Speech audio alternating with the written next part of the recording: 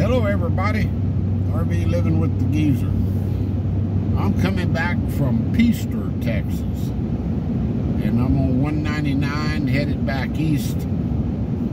It's sort of cloudy, so the sun shouldn't be a problem.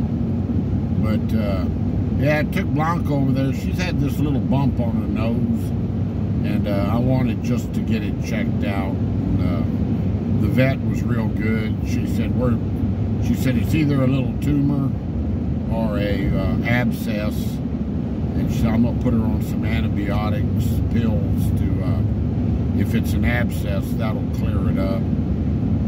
And, because uh, it hadn't been bothering anything, I just didn't want it to turn into something. And she said if it's, you know, uh, the other, then at her age, you know, she, and I agreed with her said, I sure don't want to have to, to cut on her or anything. We're not going to do that. So, uh, anyway, I mean, it's not bothering her. So, uh, she's playing with the dogs this morning. I told the vet all that, you know, and she's eating like a champ. And, and she listened to her heart and said her heart was doing fine. So, yep. Yes, we're on back, heading back to Boyd now. And I stopped at a little cafe in Poolville. It's called the 920 Cafe. It's in this old rock house they converted into a cafe. And went in there. I saw a fire truck sitting outside. The firemen were in there eating, three of them. And I got talking to the lieutenant there, told him I was retired.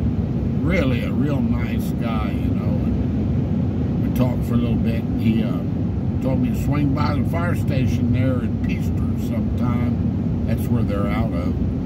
Drink some coffee with them. So, uh, anyway. But, uh, yeah, I always like chatting with the firemen when I see them, you know. It just brings back good old times.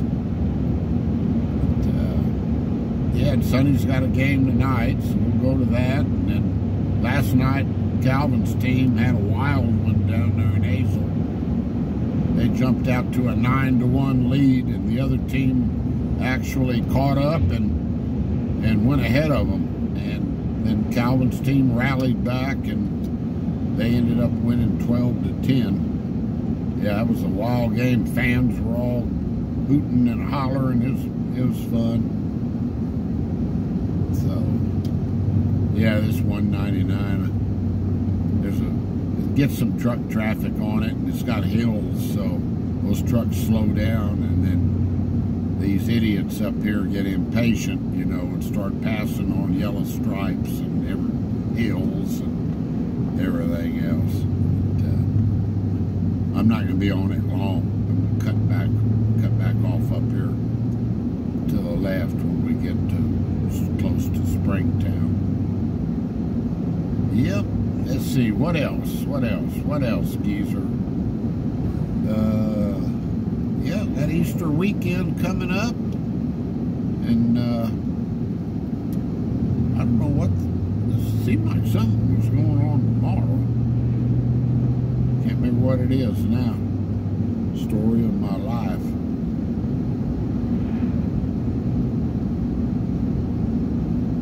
Huh, okay.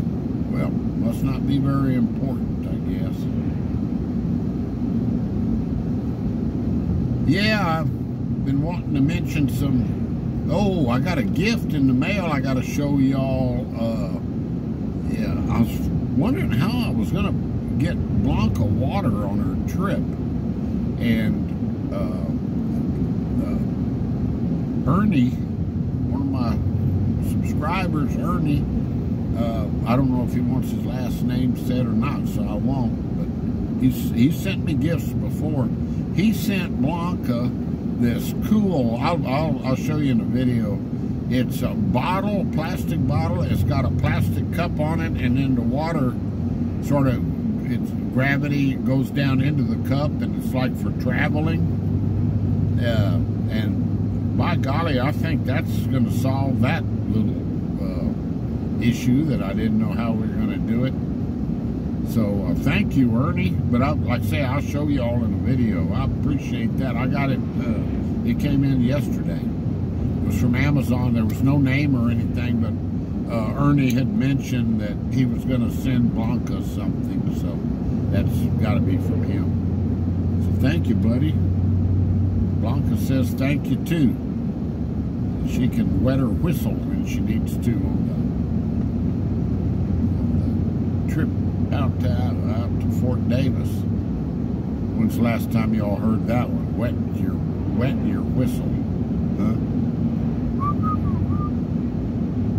My whistle's not copyrighted, so I can play tunes with my whistle. I never could whistle worth a darn though. Y'all needed to know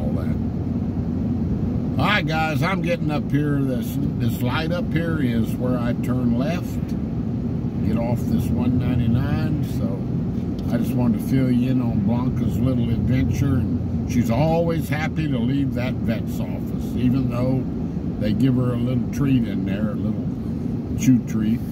But uh, she's always happy to get out of there. And she she when we go in she's uh, she balks at him have to have to encourage her she, because she's got shots in there before. I told I told her today that she wasn't going to get a shot, but I guess she didn't listen to me or ignored me as usual.